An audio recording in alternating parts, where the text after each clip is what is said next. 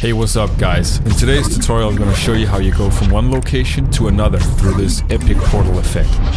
And if you want to follow this tutorial, I would recommend you go back and watch my previous video on how to create this portal effect. So let's get right into it. So here's the project from uh, the previous tutorial, and as you can see I have two new assets.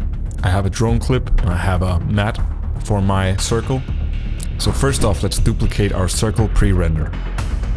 From here, I'm gonna drag and drop our matte and hold Alt on the keyboard as I replace it. And then we're gonna change the blend mode from add to normal. After that, we're gonna duplicate the clip once again and we're gonna replace one of the clips with the other location we want to go through. We're then to go to track matte and change it to luma matte. We're then to drag these two layers underneath our pre-rendered circle and underneath our texture and you should have something that looks like this. You can now see the new location is in the circle.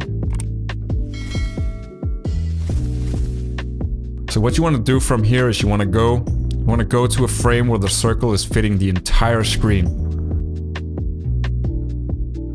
So this frame seems to be where it's at. And then I'm gonna click S on the keyboard and adjust the scale. And also I'm gonna press R and adjust the rotation. Now what I'm trying to do here is get the clip looking as flat as possible in 3D space. So you want to have it placed so it's like fitting the screen. As you can see I'm trying to achieve here by adjusting the different angles. And then I'm pressing A on the keyboard to adjust the, the position of the clip. And it's getting pretty close now, we just have to scale it up a bit, adjust the anchor point again, and this is looking pretty good. So as you can see here, I have this line breaking down the clip, which is uh, the texture and the circle going through. And we're gonna gonna find a way to fix this, to fix this line. So there's actually a trick you can do in After Effects where you create a new layer and uh, you add an adjustment layer and then you put the adjustment layer above to break the 3D so now it's not sticking through the circle it's breaking up the layers so you have the circle on top of the clip, which is exactly what we want. So what we're gonna do from here is we're gonna add our second location clip on top of everything and we're gonna make sure it fits the entire screen. And you can see as I turn on, turn off and on the layers, you can see that it's matching up pretty good. So I'm just fading up the opacity over time here and we're gonna take a look at how it looks. So it's getting pretty close. We still have some things to do.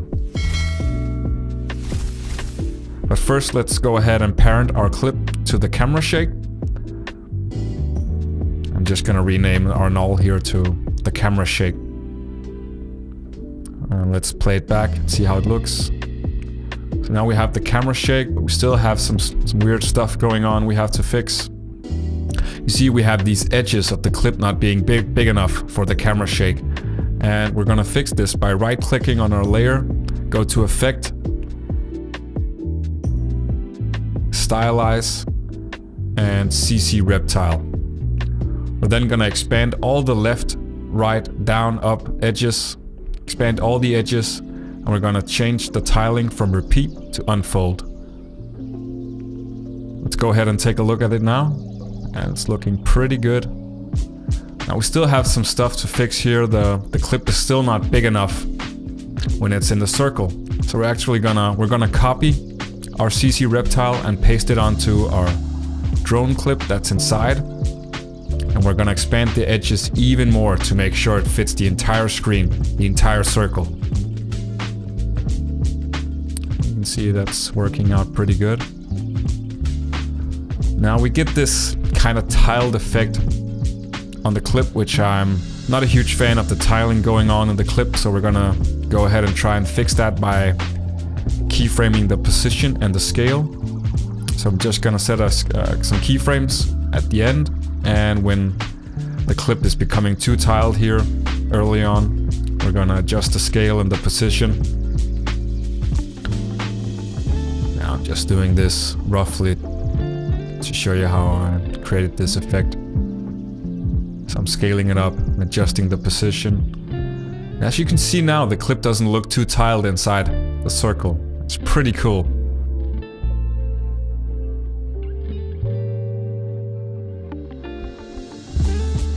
I'm just adjusting the timing.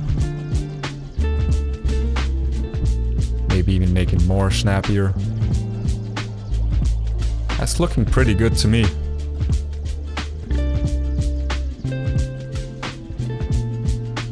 Yeah, we're almost there. Alright guys, let's go ahead, because the, the clip is starting from the beginning, but it actually doesn't have to. We can start the clip when the circles start opening up, which is around here. So let's go ahead and add a marker to know where our keyframes are supposed to be.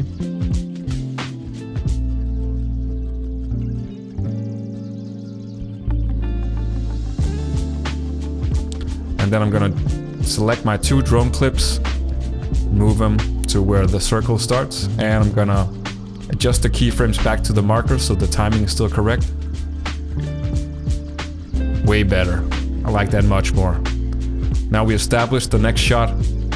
We have some time on the next shot before clipping to another clip, before cutting to another clip. That's all for today, guys. Subscribe and leave a like if you liked the video, and I'll see you next time.